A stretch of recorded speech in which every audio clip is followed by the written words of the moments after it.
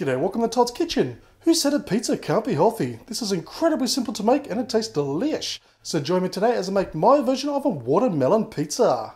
Okay, so this literally takes just about a minute or two to put together. So you're going to start off, obviously, with a piece of watermelon. Now I've tried this a couple of different ways and I find the best way to do it is to cut it into slices first. Because if you try and cut it afterwards, you're going to have bits and pieces going everywhere, it's just no fun at all. So first of all, cut it into the desired slices and then just simply use the fruit of your choice. So to start off with, I'm going to use some sliced kiwi. And again, you can use anything that you like, it really makes no difference. Then some sliced strawberries. Now I picked these strawberries out of my own garden, and I also have a video up on my other YouTube channel, which is my Home Handy Hints channel, on how to grow your own strawberries.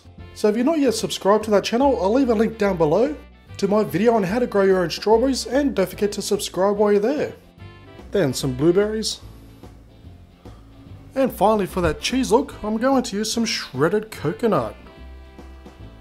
And there we have it, probably the healthiest pizza you're ever going to have. Now obviously this isn't really a traditional recipe, this is more of a fun thing to do for kids and adults at a party or a get together, and it's an especially good treat on one of those hot days. So apart from this pizza being guilt free, it's going to taste simply delish. And another plus is you can take all the ingredients with you and make it up as you go if you're going to have say a picnic for example because it literally takes about a minute to put together. So thank you for watching this episode of Todd's Kitchen. Please check the links down below to my Facebook, Twitter, Instagram and Home Handy Hints channel. And please do me a massive favour by giving this video a thumbs up, leave a comment and subscribe and I'll see you next time for another delicious recipe.